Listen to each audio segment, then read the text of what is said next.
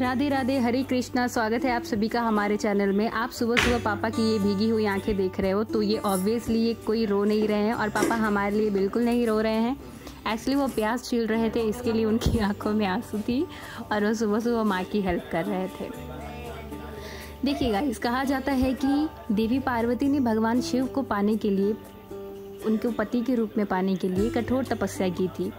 उन्होंने सावन के महीने में सोमवार का व्रत रखा और उनकी तपस्या से ही प्रसन्न होकर भगवान शिव ने उन्हें वरदान दिया और भगवान शिव माता पार्वती के पति के रूप में उन्हें मिले।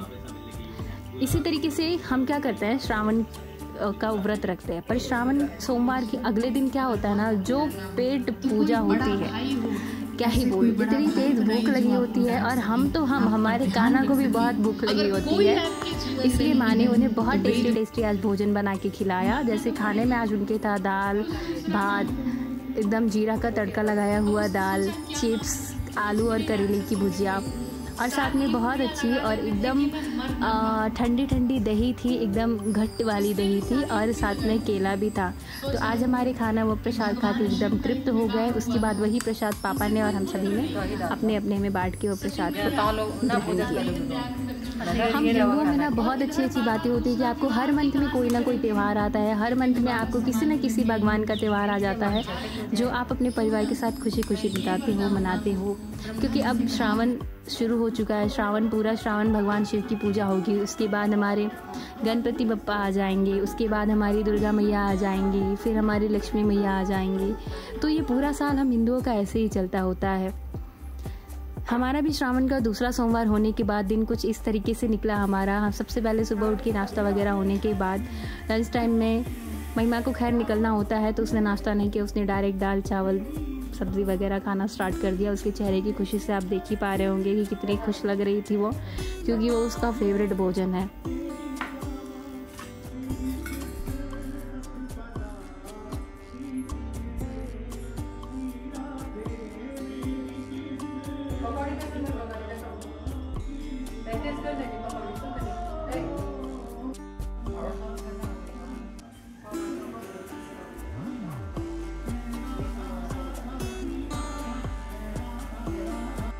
अभी मैं और कान्हा है रूम में और कान्हा ने अभी हमारा मिश्री खाया है। अब हमारे कान्हा का शैन करने का समय हो गया है। अब वो आराम करेंगे।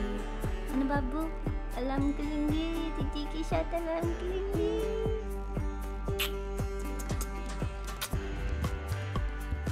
ये मेरे सोना बाबू सोना बाबू हमारे सोना बाबू। गाइज़ मैं जस्ट अभी ब्रेक लेकर आई हूँ क्योंकि मैं काम कर रही थी और फिर माँ पापा अभी जस्ट बाहर गए तो घर में अभी सिर्फ़ मैं और काना थे तो मैंने आके देखा कि मेरे काना उधर बैठे हुए थे और पता है, मौसम यहाँ का इतना ठंडा ना कि वो बहुत ऐसे ठंडे हो गए थे। इतने ज़्यादा ठंडे हो गए थे और काना ऐसे ठंडे हो जाते ना मुझको ज़रा भी पसंद नहीं आता। तो मैंने क्या किया, मैंने फटाफट से उनको गोद लिया ना और उनको ऐसे दुपट्टे में लपेट दिया। ताकि मेरे काना को ठंडी ना लगे, रुको मैं दिखा ये देखो, मैंने ना इनको दुपट्टे में ऐसे लपेट दिया है ताकि उनको ठंडी नहीं लगेगी। जब तक इनका शरीर गर्म नहीं होता, तब तक मैं कान्हा को इसमें से नहीं निकालूँगी। मैंने उनको बोला, ऐसे दीदी के गोद में दुपट्टे में रहना है। ऐसे टुकुर टुकुर देखते रहना है। बस, लेकिन आपको शरीर को जल्दी से जल्दी गर्म हो जाएँगे। हाँ कान्हा? बाबू, इतने ज़्यादा ठंडे हो गए थे। यार, मैं इनको ब्लैंकेट में मेरे साथ ही लेके सोती हूँ। मैं इनको ज़रा भी ऐसा और ठंडा नहीं होने देती, पता नहीं क्यों। मेरा भाव इनके लिए इतना ये है ना कि मुझे ऐसा लगता नहीं नहीं, मेरे बाबू ऐसे ठंडे नहीं होने चाहिए। उनका शरीर नॉर्मल टेम्परेचर में रहना चाहिए। अभी देखो कैसे शांति से चुपचाप बैठे हुए दीदी की गोदी में, क्योंकि इनको पता है, इनकी दीदी इनको ऐसे देख ही नहीं सकती। हाँ शोना, बता दो आप सबको।